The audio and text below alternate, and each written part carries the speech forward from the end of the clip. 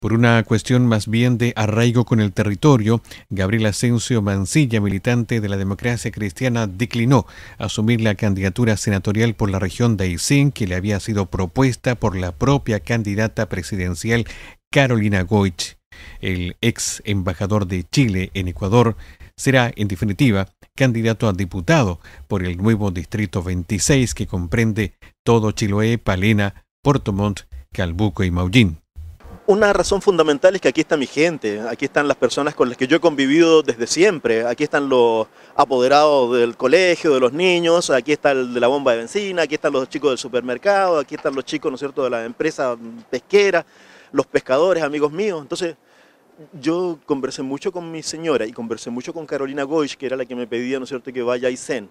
Y le dije, y fui a Aysén y conversé con ellos y todo el mundo, pero pero le dijo, mira, me siento como pollo en corral ajeno, ¿ya? Porque, porque está bien, yo, yo, no regresé para andar buscando, ¿no es cierto?, un escaño en el Parlamento, yo regresé pues, cuando me dicen que el Pato Vallespín no puede ser candidato, ¿no es cierto?, por las razones personales, no puede ser candidato y necesitamos candidatos de mi partido acá. Y yo por eso, ¿no es cierto?, regreso. Pero no regreso para irme a Arica, Antofagasta, a Punta Arena. Entonces cuando estuve allá le dije, no, es que no puedo. Asumiendo que se trata de un escenario totalmente distinto, tanto en materia partidista como así también de la misma mirada del electorado, Gabriel Asensio enfatizó que su experiencia deberá ser un factor preponderante para una eventual elección en el nuevo distrito, sumando a eso una propuesta regionalista integral yo tengo la impresión de que la candidatura mía es una candidatura absolutamente transversal. O sea, gente del Partido Socialista, gente de la UDI, gente de todos lados, de todo el mundo.